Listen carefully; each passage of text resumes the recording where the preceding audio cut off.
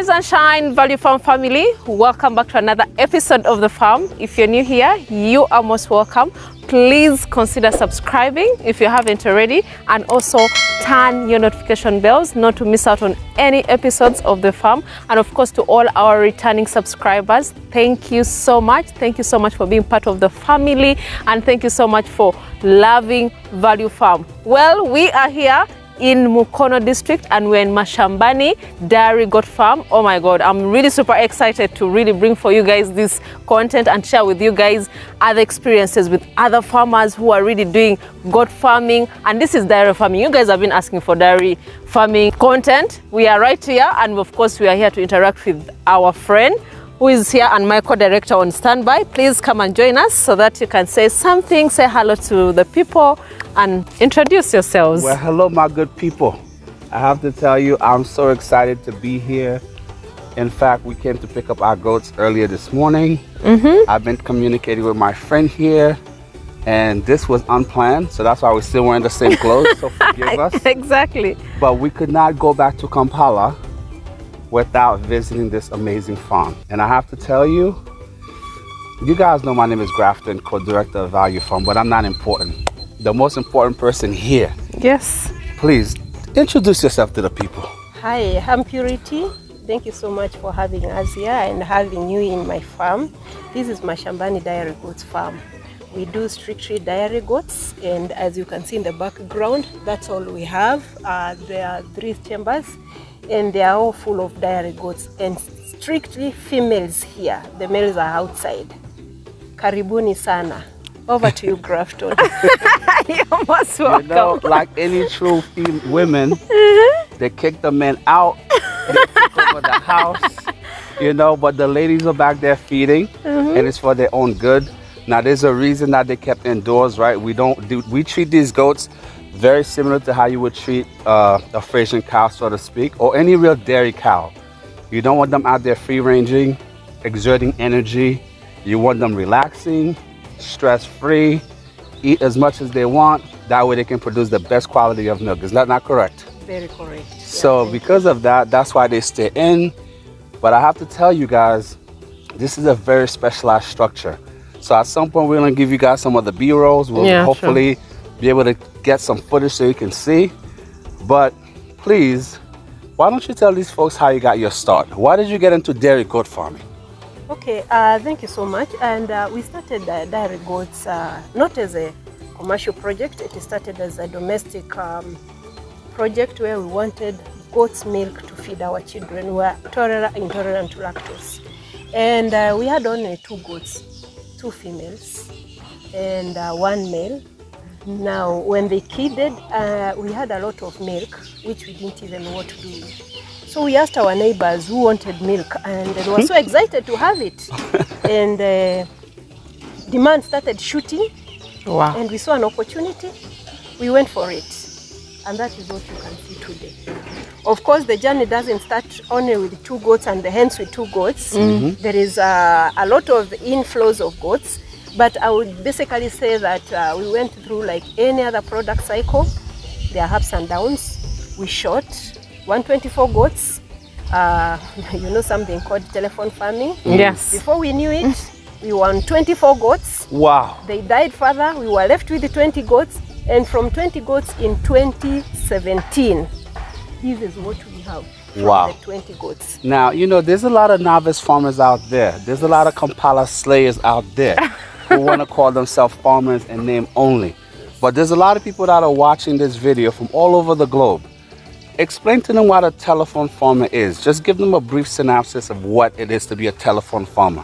Yes, a telephone farmer is that person who stays away, away from the farm and just uses his communication, his or her communica- communication gadget to know what is happening in the farm. Definitely, you get the reports, mm. and the reports they want you to hear, not what you want to know.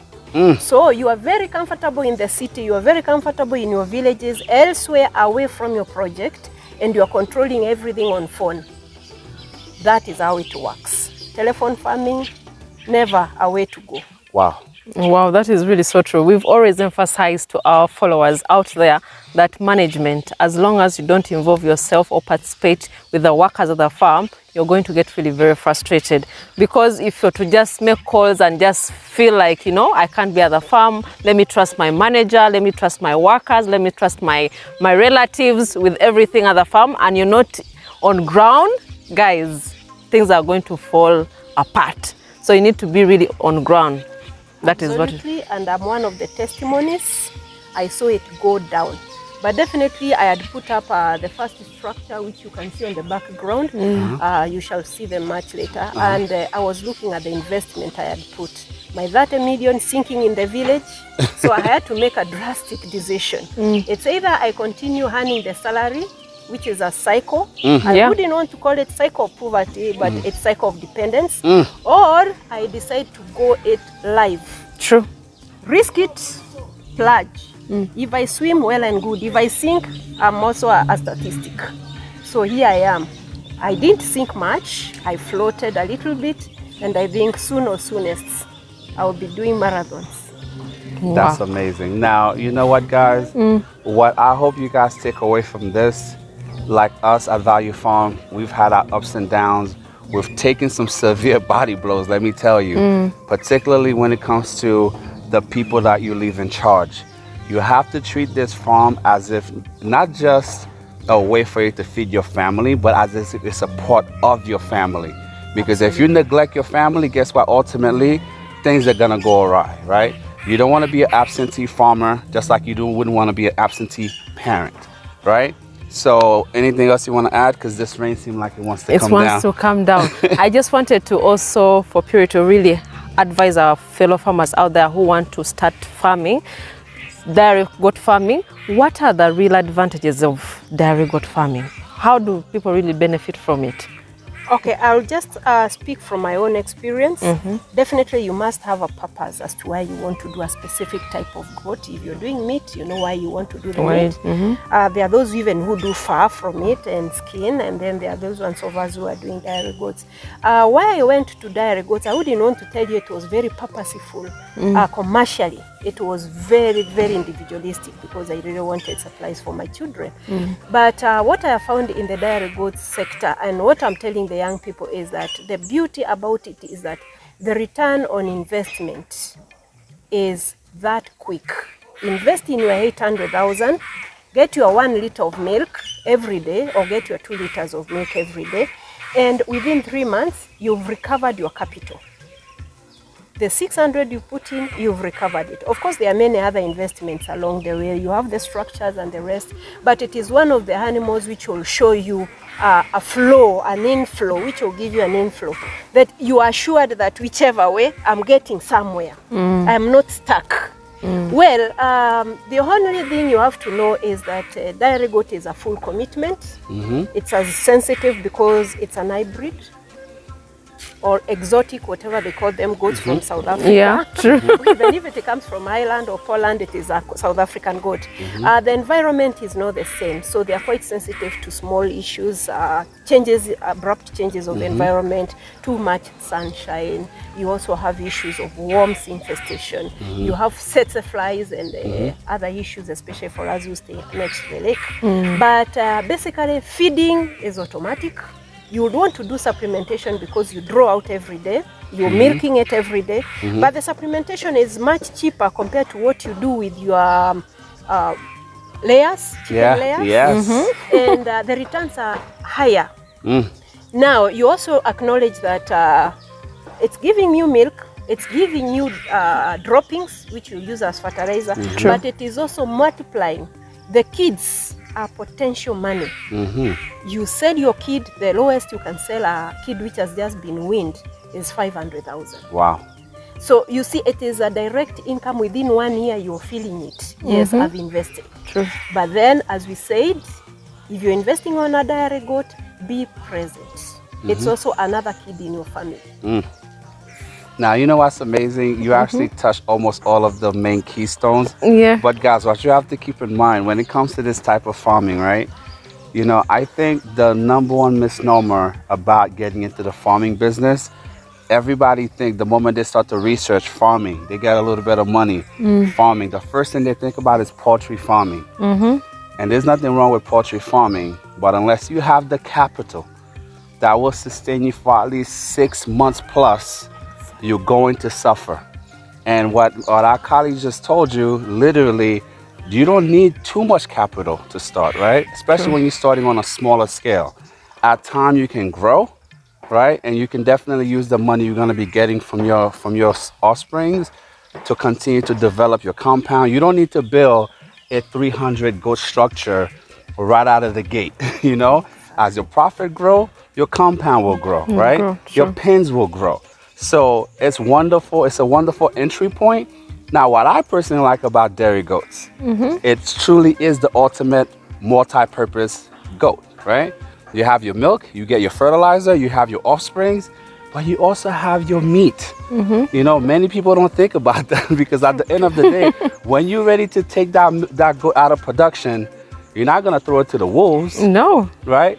They're very sweet. Okay, the milk, the meat from dairy goats. I've experienced it with Galla. I've experienced it with the Togans. The meat is delicious. So you can definitely get your milk, you get your fertilizer, and you get everything else. And on top of that, you get to keep the meat, or you get to sell the meat, mm-hmm. right? So those are added benefits you're not even thinking about. And as long as you take care of the goat well, financially, is going to reward you for your effort, right? How many of you have like 25 cows at your compound, mm. yet you broke all the time? you know, in this instance, you could have five, six, seven goats, yet you have daily potential for income. I think that's a win for the goats. That is so true. Like, guys, I should really testify.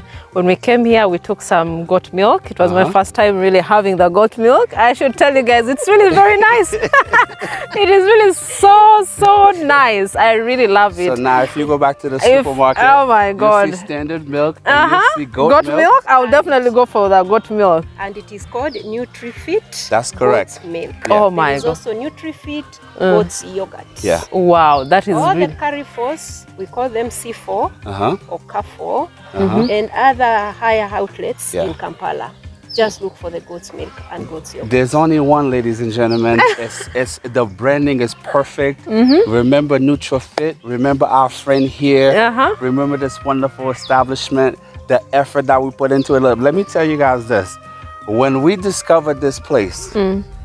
The first time I spoke to my friend here, we were on the phone for almost three hours. Mm-hmm. And the reason that we here on the ground is because you know at Value Farm we always preach sharing, sharing of information, sharing of ideas, making sure that you do not leave your fellow aspiring or even existing farmer behind. And so she's definitely a true, kind-hearted, hardworking, Very. and dedicated farmer because when you get to this compound, Mm-hmm. there's no shortcut that's been taken in order to get to this level. So, on behalf of us at Value Farm mm-hmm. and everybody who's actually watching out there, we want to say thank you. Congratulations, well done. Mm-hmm. And personally, NutraFit yogurt is one of the best. There are multiple flavors, right? You have your plain option. And for those of you who want vanilla, it's also there with a little hint of sweetness. But goat milk is meant to be have to be had what raw at its natural state so that all of the benefit that come with drinking that goat milk can still be beneficial for your gut health. For those of you that cannot drink regular cow milk, mm-hmm. NutraFit is here for you. That is, by the way, value addition. Yeah, that is really value addition. We always preach to you guys that you shouldn't be just a farmer and do not add value to and what you have. open-minded. Exactly. So if you think maybe you have only the dairy goats and you want to sell only milk, guys, there's something you can do more onto that. That's why our friend is really doing the yogurts there for you and you should go and purchase them. And of course, I'm really super excited to be here. I wanted also to also throw some light on the feeding of these goats, like the grasses that you plant, because there are some other people out there who want to start the dairy goat farming, but they should be prepared. They should know what grasses should I really plant before I start Perfect. the dairy goat farm. So what have you planted here? Yes, um, I would have, have to say that uh, initially, when you're starting, you really don't have to struggle so much with the grass because these goats are serious eaters. They eat anything which is edible. Really? And uh, they, they will even select for themselves what they want to eat. But uh, when you start becoming more commercial, you start uh, expanding, you want to have uh, food security. Just like human Yeah, beings, we true. need food security. Drought hits hard and natural grass dries up. So what do you plant for whole season? We have a legume called Desmodium. We have uh, jack bean. Mm. We also have lab lab or Very lab nice. alfalfa. And then uh, you can also supplement in any other, like your beans, your soya, if you have extra dry matter. Wow. On the other side, on the grasses, you have uh, super napier, what they call pak chong. Yeah. They don't love it so much. Goats are more of uh, climbers, so they really like something they have to select for. Yeah, true. And then uh, you have um, Boma Rhodes, That's true. and then uh, then we have uh, Mulato, Mm. bro- Okay. brachiaria, Okay. and uh, of course you have to do other other kind of foods like uh, silage. So you have to process your sugar grains and with your uh, maize, with your jack bean, you mix them and then you store them. Like See? you can see in the blue tanks, there's a lot of stuff stored there. Okay. And then uh, at this juncture, because we have some sun- sunshine, Mm-hmm. we are trying to process hay. And we process our hay from Boma Rhodes, Awesome. which is uh, we have done a plantation of Boma Rhodes. Boma Rhodes, down okay. there. Yeah. Yes. So we are now processing it in readiness Mm-hmm. for the wet season, which we anticipate to be in a month, Yes. a month time. Yeah, true. Yes. So always be ready for eventualities. Okay. Now, I have to tell you, you know, just to listen to you rattle off those different type of feeding options, mm-hmm. right? People might think you were like a natural born farmer, but what did you do before farming? Oh, that's an interesting question. Yes, I have a story to tell. Mm-hmm. Um, I, I was born in a rural village, mm-hmm. and I grew up like any typical kid. And I went to University of Nairobi for my first degree social work, mm -hmm. and that was way in 1990, 94, 98. Okay. Then I came to Uganda to do to follow my husband, my love of my life. Awesome. And uh, I got my first job as a community worker. Well, I think I was business oriented. It didn't mm. go very well with my, my. I was not mm. seeing figures. mm. So I went back for a postgraduate uh, diploma in management. And I landed a marketing job. I'm a chatterbox, as you can see. And, uh, because I was not fully qualified. They, they, I think they took me in because uh, probably I was so passionate about tea, which I grew up with. And I decided to huh, prove myself. I went for CIM, Chartered Institute of Marketing, okay, and I graduated with a professional postgraduate diploma.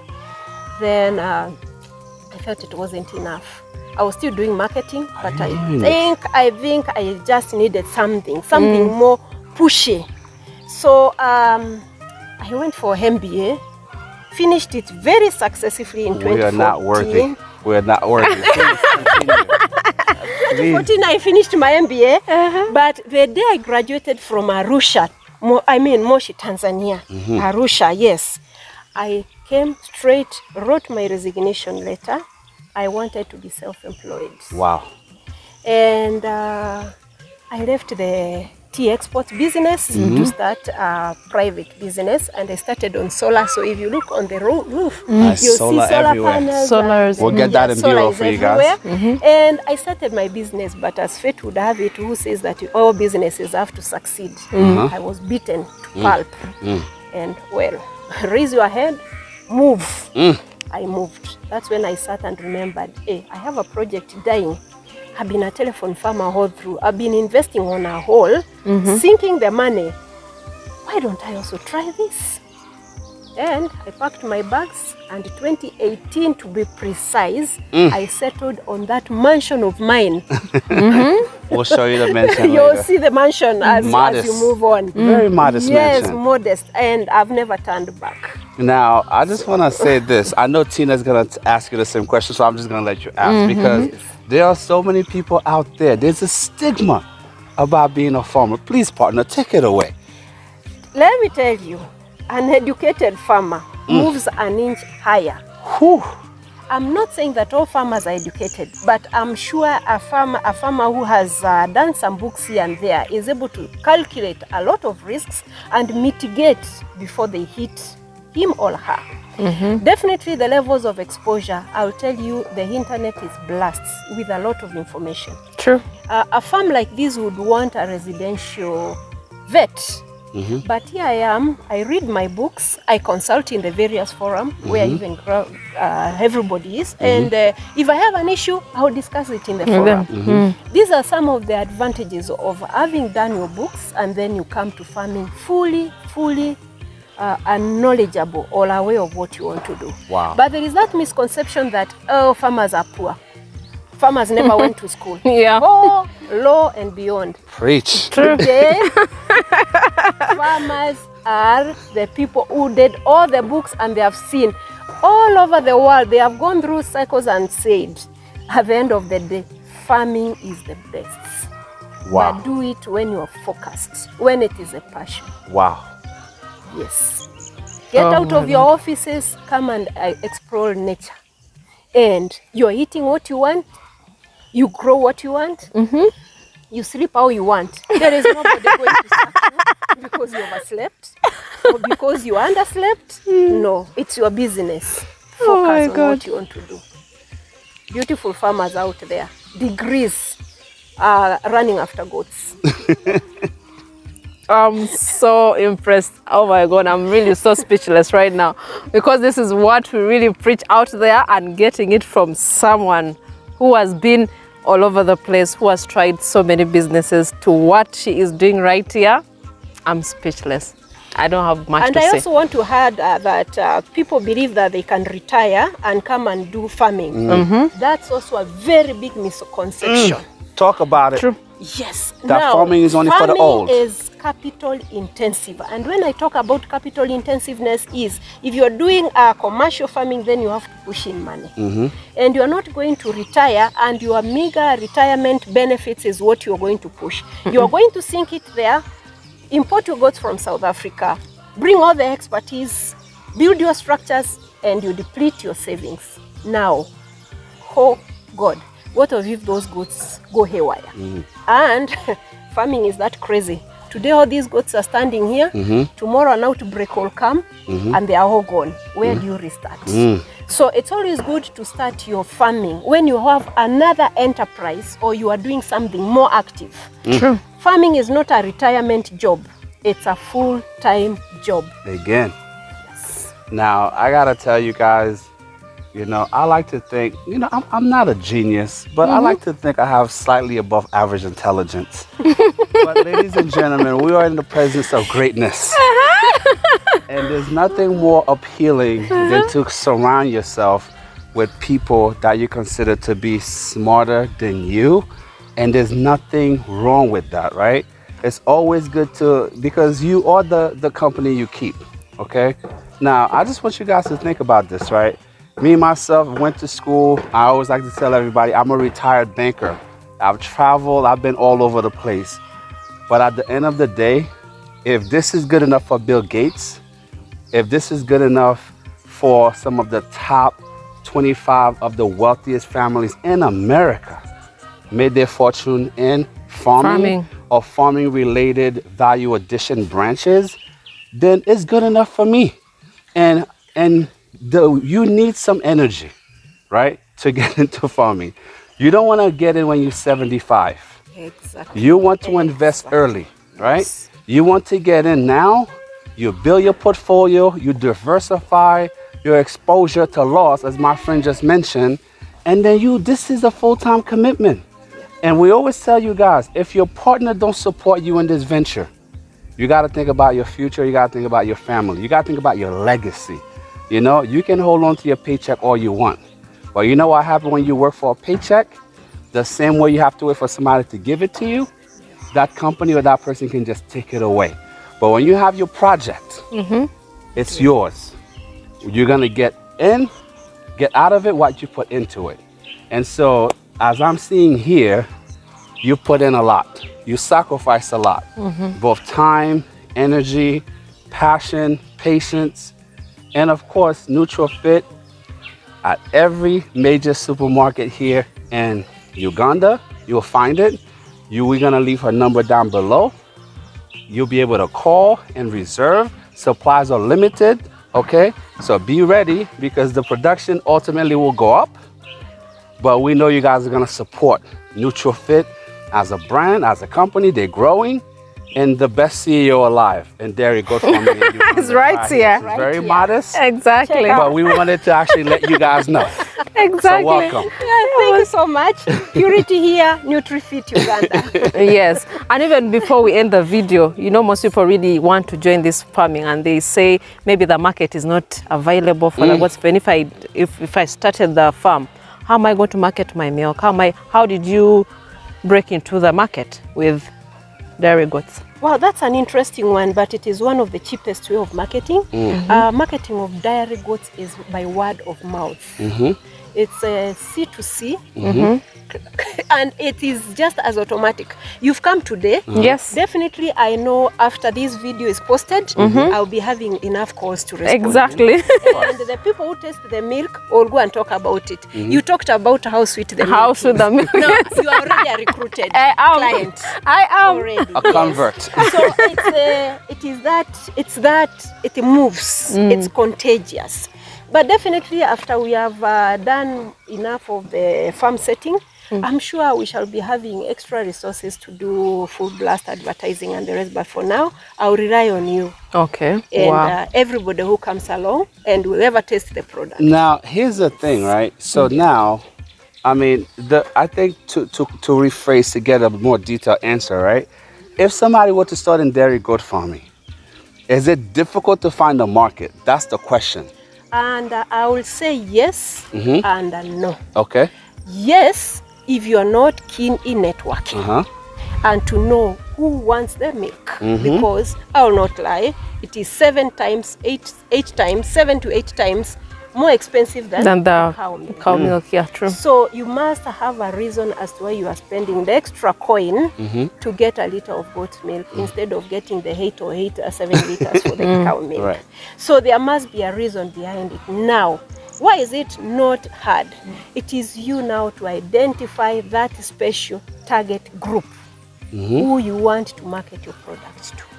And that group is too much in Uganda. it's a lot It is too much. We have the expatriate community. that is true mm. And in the expatriate community, actually, you start with the Indian community. Mm. They are very, very good with goat milk. Mm. Then you, you go to the European community, and uh, there are very many in Kampala. You didn't even want to count them. It's the biggest population. And what will shock you most? Mm-hmm. Abantu bente, mm-hmm. the Banyankoles. Mm-hmm. They have understood the beauty about bringing up their children with goat's milk. They protested it first. They tried it. They have seen wonders in it. so I'm telling you, just giving you an example of the people you focus on. But the market is life. You know, You Market is and wide I'll also mention that uh, uh, goat's milk is very special in the um, special children's nutrition, especially uh, autistic children. I'm not a doctor, I will not talk so, so much about it, but it is something which somebody needs to explore. Many people who ha- have issues with uh, diabetes, high blood pressure, they are uh, diet restricted, they are allowed to take goat's milk. So you can see the market is there. It is how you explore it. that's actually so amazing. Um, we don't want this video to be three hours. So we have a lot all I can tell you, I just want to wrap this up by saying the following. The market exists. Your customer base is there. But the only thing you have to do, you have to give them a reason to come get your product. And how do you do that? First, you produce. But even before you start producing, you start with your outreach. You start with your friend network, your pastors at church, people that you know.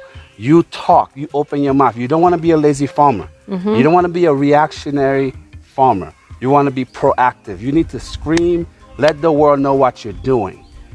And of course, if you make it, they will come. Uh, could I conclude on this? As you try, I'm welcoming you so heartily to the goat's milk world.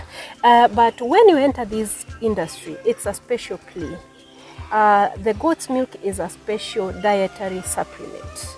And as such, it needs to remain organic, natural. Let me even say the word natural because organic uh, certification is required when you talk about organic. But uh, I would seek the new entrants to be very morally upright. I'm not saying I'm an angel, but that milk will need to remain raw. It needs no preservation. Mm. You don't need to add anything to the milk to keep it preserved. Lose it if you have to lose it, but keep it natural and raw so that the buyer can know exactly what they need to do with it. Otherwise, any adulteration, it's more poisonous than any other product mm. you have seen in the world. It doesn't need any additions. Just keep it raw and keep it clean. That's it. That's just my request to any new entrant to dairy goods. Wow, this was amazing. Tina, I'm partner. speechless. Anything I am, add? and I've really learned so much. There's, I don't want this to be a really long-winded video, Uh-huh. but we should really definitely come more often here and also learn, so that we can be able to inspire other people there, motivate people who want to start dairy goat farming. But I really appreciate you so much for allowing us to come here, for giving us a cup of tea before even we started mm. the video, and of course going to take us on a tour on the farm. I'm really, really super happy, and I hope you guys have really enjoyed this video. In case you really feel like you have any questions, anything, please leave them on the comments down below so that we can definitely get. I know she will be watching. We shall also give get her contact on the description. We shall link everything that her information on the description so that you can reach out to her. But if in case you have any comments, any suggestions, anything, any thoughts, just leave them down below so that we can also interact with you guys. But really appreciate you guys so much. If you've watched this video up to this moment, you guys are gems. You're the real farmers here. But we really appreciate you guys so much. If you haven't already also checked out our social media platforms, we have Instagram, that is Value Farm UG, Facebook, Value Farm, TikTok, Value Farm.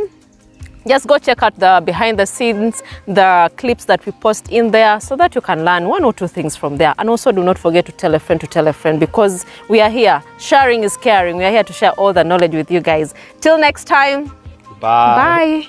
bye.